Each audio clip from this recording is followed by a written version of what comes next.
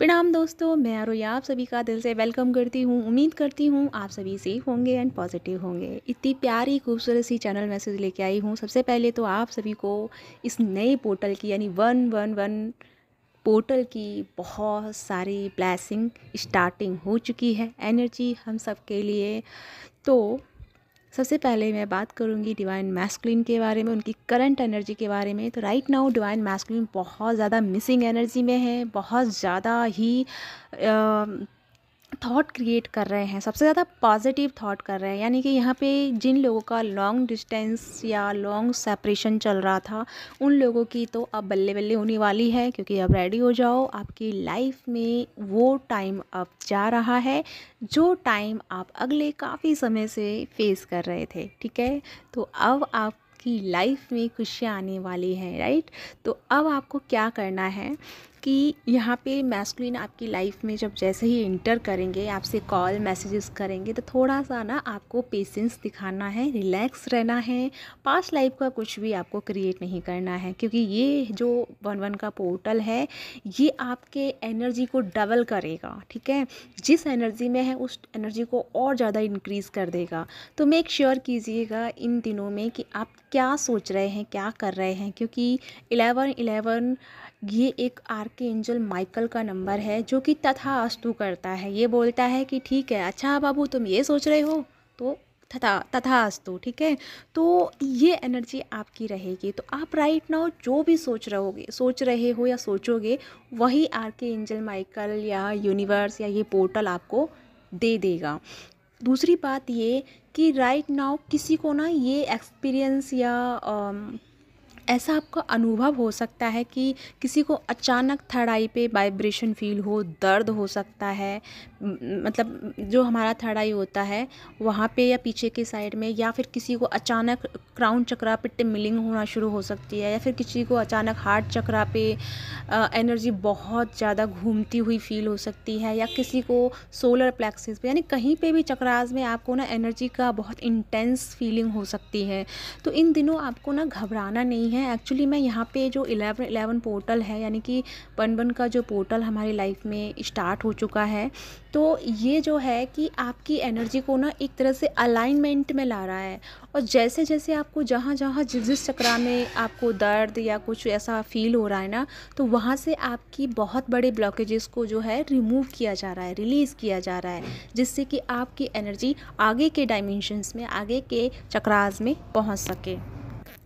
तो जिस किसी को भी ऐसा फील हो तो प्लीज़ अपने आप को बैलेंस रखना है ठीक है? बिल्कुल भी अपने आप को डिमोटिवेट नहीं करना है या डरना नहीं है या फियर वाली एनर्जी में नहीं जाना है।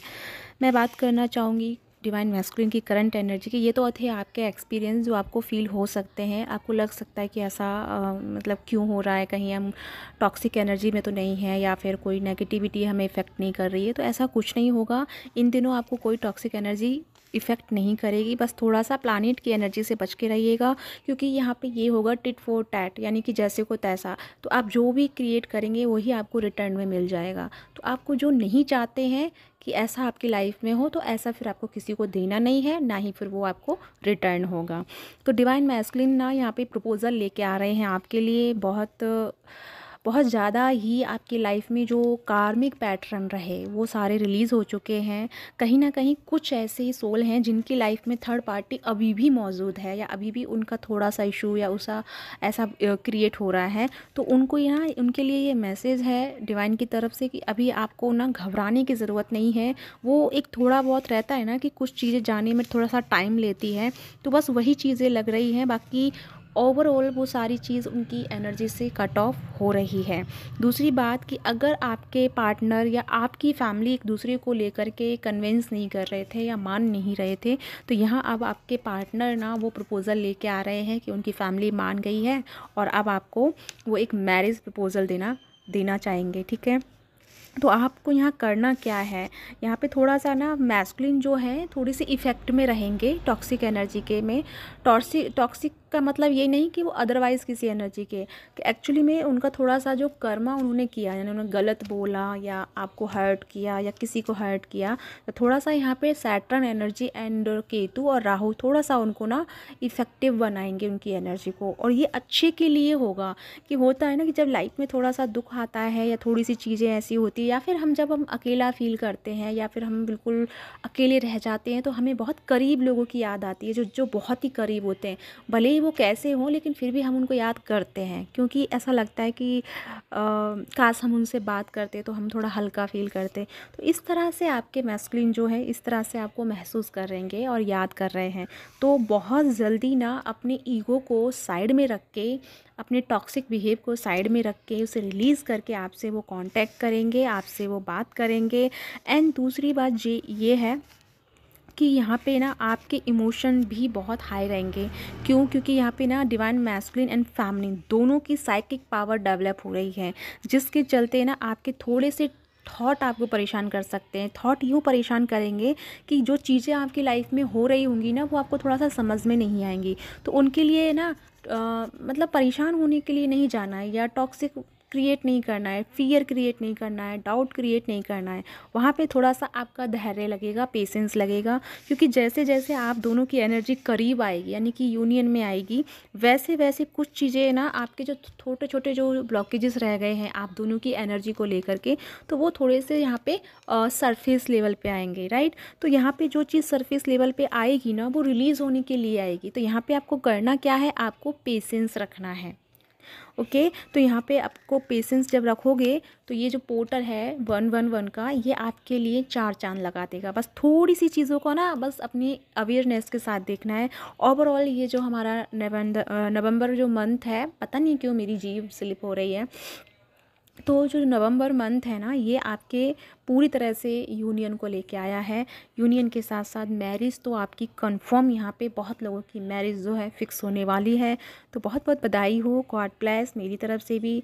और प्लीज़ जिसकी भी शादी हो ना, मुझे मीठा भेजना या चॉकलेट भेजना मत भूलिएगा, ठीक है? तो जल्दी से ये लड्डू वड्डू तैयार कीजिए और शादी का प्लान क्रिएट कीजिए। एंड एक और बात याद आया मुझे। जो मेज़र थी, जो मैं बताना भूल गई। राइट नाउ ना, ये जो टाइम रहेगा, आप जो चाहते हैं वो क्रिएट करना शुरू कर दीजिए, सोचना शुरू कर दीजिए, या फिर एक ऐसे करो, मान लो आप लॉन्ग डिस्टेंस में हैं, या फिर आप सेपरेशन में हैं तो अपने कल या आज से, अभी से मतलब कल तो छोड़ो, अभी से ना आपको क्या करना है कि आपको वो चीज़ क्रिएट करनी है अपनी एनर्जी में कि आप लोग मिल रहे हैं, आप लोग मिल चुके हैं, आप लोगों की बातें हो रही हैं, आपका सेपरेशन एंडिंग हो रहा है। ये चीज़ अभी से फील करना शुरू कर दो आँखें बंद करके। वो आपका मेडिटेशन भी हो जाएगा, साथ में आप उनकी एनर्जी से इनर मतलब इंटरनली आप उनसे कनेक्ट हो जाएँगे और जैसे ही आपकी एनर्जी इंटरनली उनसे कनेक्ट हो जाएगी तो आप दोनों का जो सेपरेशन का जो टाइम ऑफ़ पीरियड है वो शॉर्ट हो जाएगा और बहुत जल्दी आप दोनों एक दूसरे के कांटेक्ट में आ जाएँगे। तो यहाँ पे ना सब कुछ आपकी हेल्प करेगा, बस थोड़ा सा आपको चीज़ों को करना होगा और पेशेंस रखना होगा और ओवर थिंकिंग तो बिल्कुल नहीं करनी है। अपने आप को ओवर थिंकिंग से बचाने के लिए क्या करना है? डीप ब्रीदिंग करनी है ताकि आप थोड़ा सा रिलैक्स फील करें। ओके गाइज़ तो ये पूरा मन जो है आपके लिए बना है आपके लिए है। डिवाइन की ढेरों सारी ब्लेसिंग सब आपको मिलने वाली है। तो अब अचीव करने के लिए रेडी हो जाइए और प्लीज़ मुझे भी आपके आ, आ, मतलब आपकी जो भी हो मतलब कुछ भी आपकी लाइफ में हो मुझे शेयर करना मत भूलिएगा क्योंकि मैं भी प्रेयर करूँगी यूनिवर्स को थैंक यू करूँगी।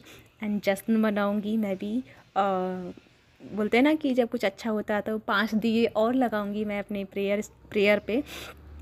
तो मुझे खुशी होगी लाइट और एक्टिवेट हो जाएगी मेरे रूम की। तो मुझे बताइएगा जो भी आपकी लाइफ की आ, कुछ भी आप मतलब आ, वो हो। अगर आप यहाँ कमेंट में नहीं बता सकते तो पर्सनली मुझे बता सकते हो ठीक है?